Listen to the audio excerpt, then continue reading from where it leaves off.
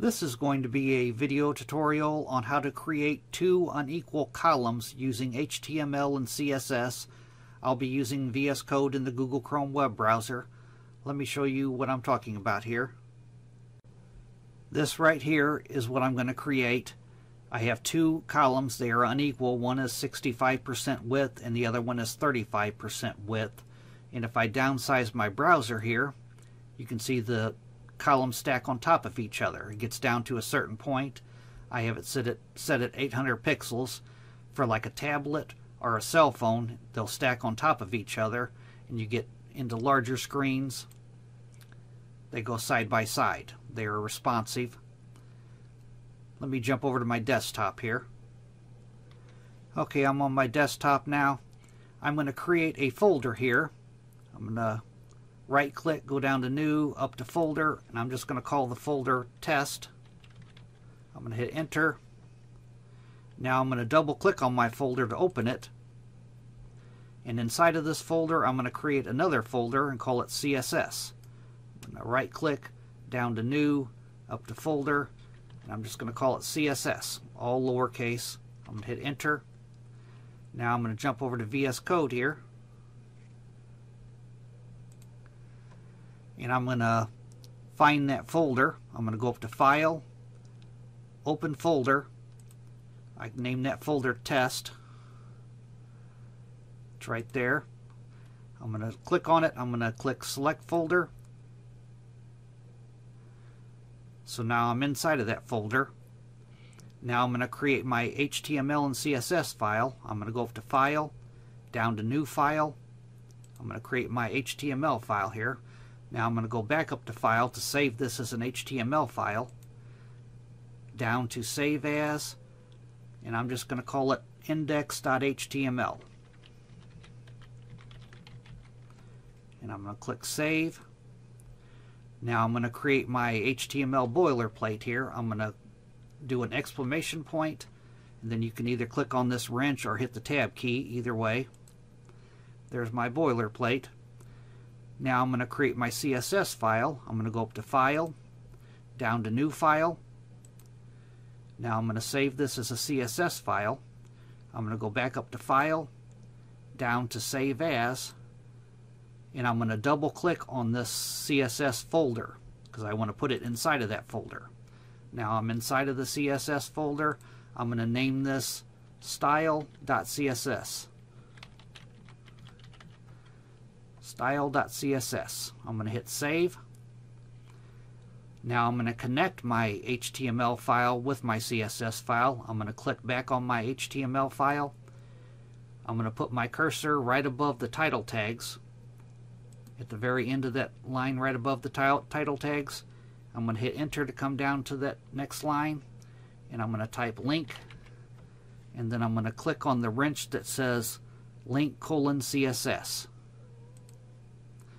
Now the only thing I need to do, this is the name of my file, style.css, but it's in a folder, so I need to direct the browser at which folder it's in. I'm going to put my, my cursor in front of the S on style and type the name of my folder, css forward slash style.css.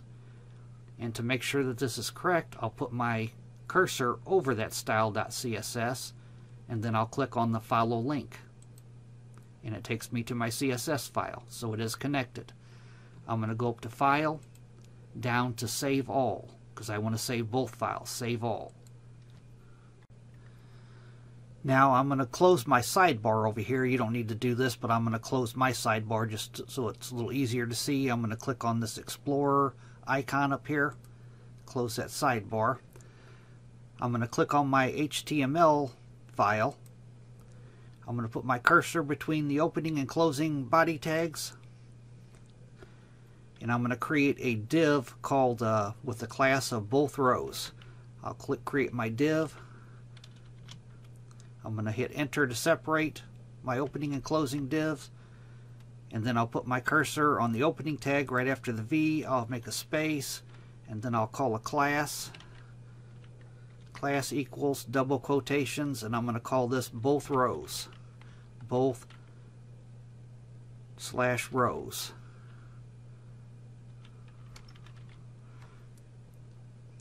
I'm going to put my cursor after the opening div tag. I'm going to hit enter and I'm going to create another div. I'm going to hit enter to separate the opening and closing divs. I'm going to do the same thing. I'm going to put my cursor right after the V on that div, opening tag of that div. I'm going to hit enter. I'm going to create a class. Class equals double quotations. And I'm going to call this column space left side.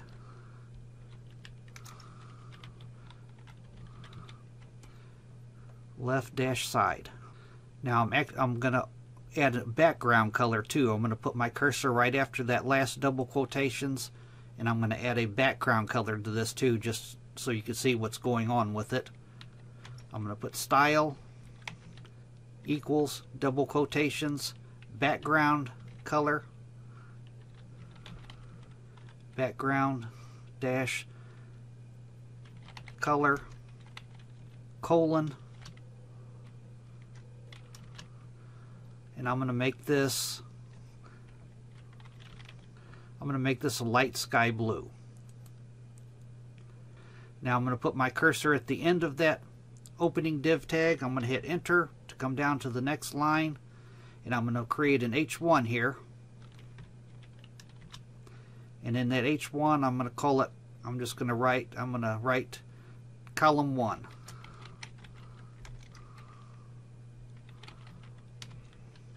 Now I'm going to put my cursor after that closing H1 tag. I'm going to hit enter and I'm going to make an H3 and I'm going to type lorem 25.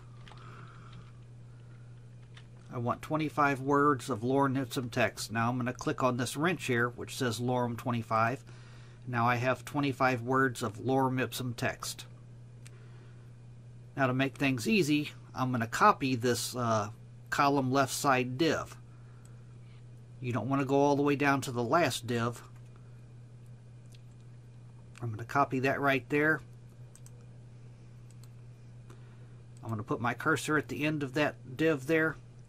I'm going to hit enter twice. I'm going to scroll up a tiny bit so you can see. then I'm going to paste this here. So now I have the same thing here pasted, but I'm going to change it. I'm going to change the background color here to a light, I'll make it light coral just so you can see what's going on with it. And I'm going to change the column class to instead of left side to right side. And I'm going to change this H1 here. Instead of column 1 I'm going to make it column 2 and then this lorem ipsum text I'm going to start at the very end of that text and I'm going to go all the way up to the word lorem. I'm going to hit backspace and instead of being 25 words of lorem ipsum text, I'm going to make 100. Lorem 100, then I'll click on the wrench here, lorem 100. Now I have 100 words of lorem ipsum text. Now I'm going to save this and I'll go over to the browser to see what I have so far.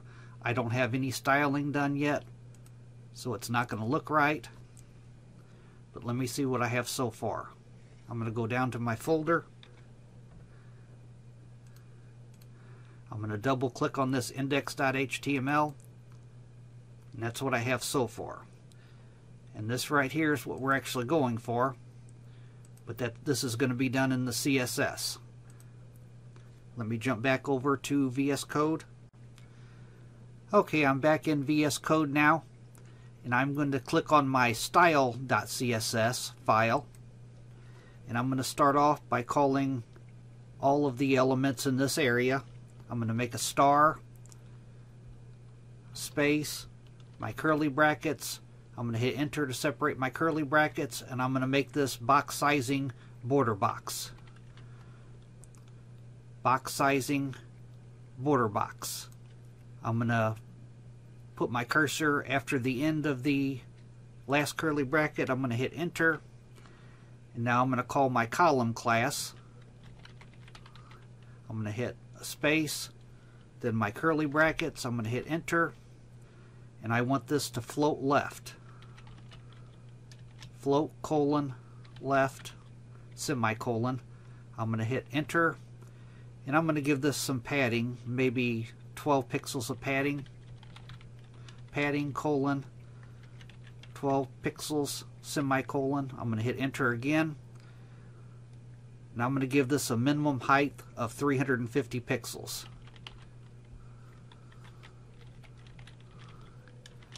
Minimum height colon space 350 pixels semicolon. Now I'm going to put my cursor at the end of the last curly bracket. I'm going to hit enter twice and I'm going to call my left side class. Period. Left dash side. My curly brackets. Enter to separate them. And I'm going to give that left side column a width of 35%.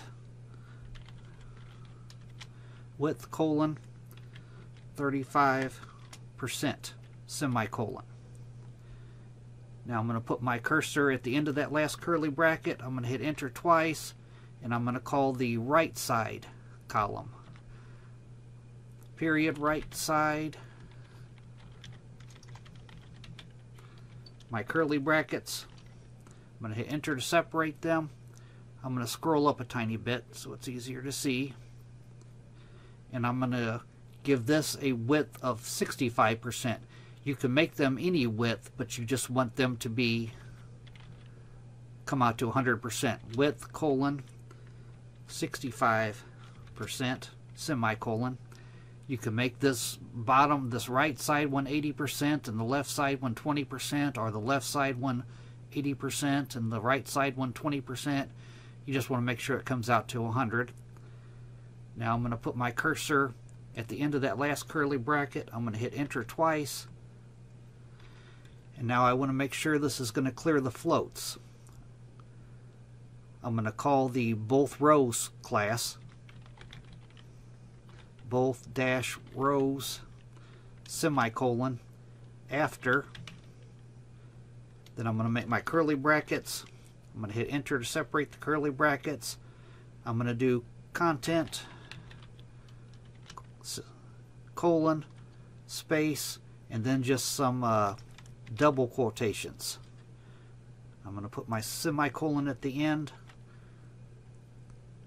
I'm going to hit enter. I want this to display table. Display colon table semicolon. I'm going to hit enter again. And I want this to clear both. Clear colon both semicolon.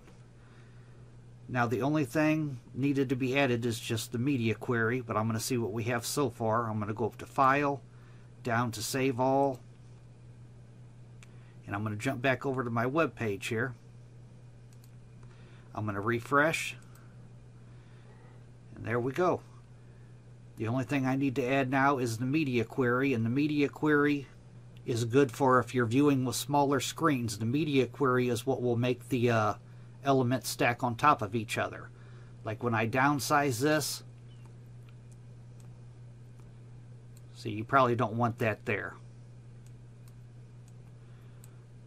What I'm going to do is what I got on this first one here. When I downsize this, it stacks on top of each other for like a cell phone screen or a tablet screen. It stacks on top of each other and you get to the bigger screens, then it jumps to uh, side by side. Let me jump back over to VS Code and take care of the media query. Okay, I'm going to put my cursor at the end of the last curly bracket here. I'm going to scroll up a little.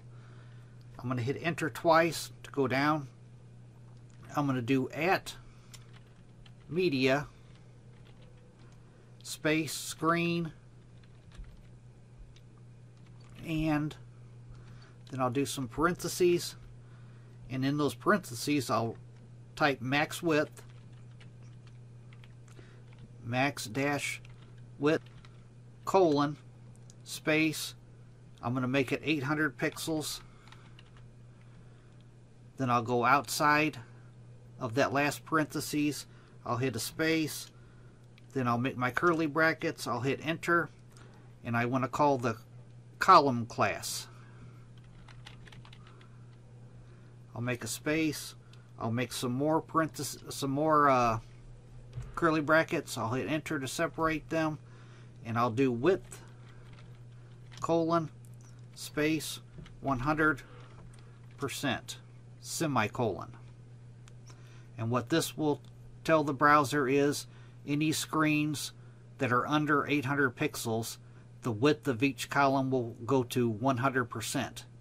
Instead of one being 65% and one being 35%, under 800 pixels, it will go to a width of 100%, the full screen. I'll go up to File, down to Save, then I'll go back to my web page, and now when I downsize, the columns, when it gets to a certain point, the columns stack on top of each other kind of looks a lot better that way and it's more friendly for cell phones or tablets.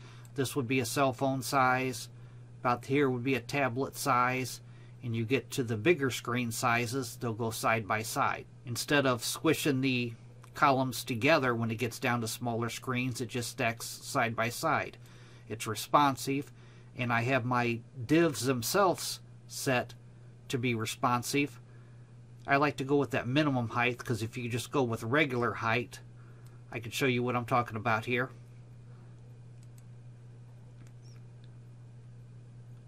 On this column class up here, I have minimum height 350 pixels. But if I went with just regular height, minimum height makes it a little more responsive. If I went with just height, I'll go up to File and down to Save. Then you'll end up with the contents of your div spilling over. Let me refresh here and I'll squeeze down. You can see right here the contents of my div. No matter if it's text or pictures, it's going to spill over and it might be spilling over on top of your other elements. But if you go with that minimum height, let me go back over to VS Code here and I'll type back in minimum, minimum, min dash height. I'll go up to File, down to Save. I'll go back over to my web browser. You can see here it's spilling over, but when I hit refresh, now the div extends if it needs to. And that means it's not going to cover up any anything under that. But that's how you make two responsive unequal columns. Thanks for watching.